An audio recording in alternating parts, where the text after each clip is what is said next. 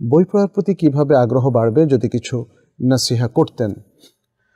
বই পড়ার প্রতি আগ্রহ বাড়বে যদি এলেম অর্জনের প্রতি আমাদের আগ্রহ বাড়ে। এলেম অর্জনের প্রতি আগ্রহ তো ইসলাম একদম শুরু থেকে দিয়েছে। প্রথম ওহি বলছে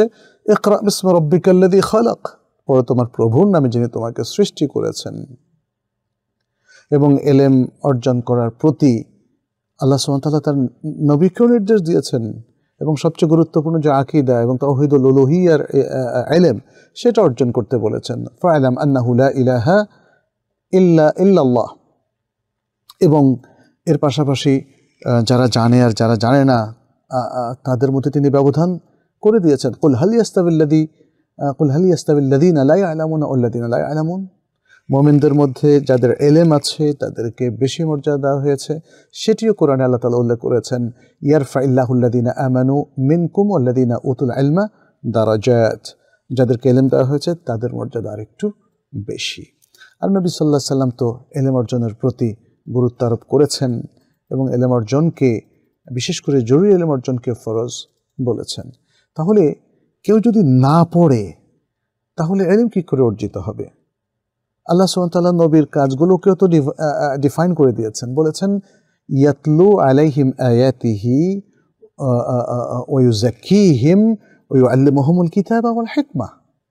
তিনি তাদেরকে তেলাওয়াত করে শোনাতেন আল্লাহর আয়াত। তাহলে এই যে তেলাওয়াত করা, এটাও তো কেরা এটা পড়া।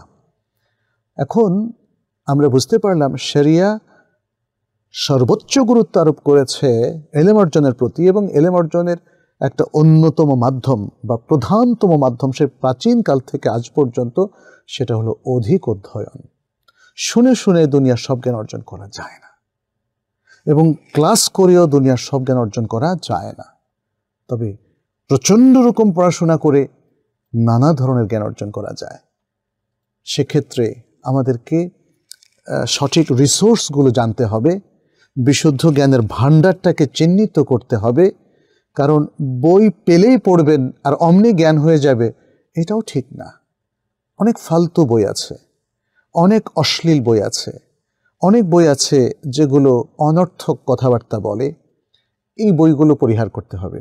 জ্ঞানের বই, যে বই আমাদেরকে আলোকিত করবে, যে বই আমাদেরকে আকিদা শেখাবে, আমাদের ইমানকে সমৃদ্ধ করবে, শক্তিশালী করবে, বাড়িয়ে দেবে এবং যে বই ইসলামের খুঁটিনাটি সহ জরুরি সব জ্ঞান আমাদেরকে শেখাবে, যে বই আল্লাহ সুবহানহতালের মখলুকাতকে আমাদের সামনে তুলে ধরবে, সেটার ভাষা শৈলী সুন্দর হোক প্রাঞ্চল হোক বা সাধারণ হোক তাদের কিছু যায় আসে না।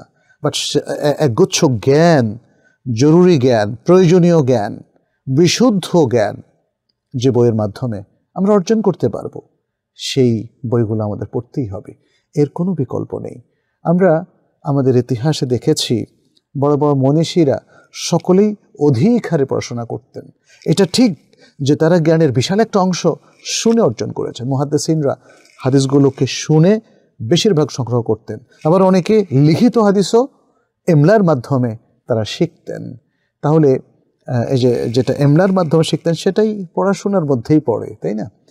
আর বড় বড় মহাদ্দেসিনরা এবং বর্তমান যুগের একজন শ্রেষ্ঠ মহাদ্দেস শেখ আলবানী রাহমাহুল্লাহ, তিনি এত বেশি পড়তেন আল মাক্তাবা জাহরিয়ার মধ্যে তিনি দিনের পর দিন, রাতের পর রাত, লম্বা টাইম ধরে কুতুবুত্তরাফ ইসলামের ক্লাসিক্যাল বই এবং যে বইগুলো শুদ্ধ সে বইগুলো পড়তেন।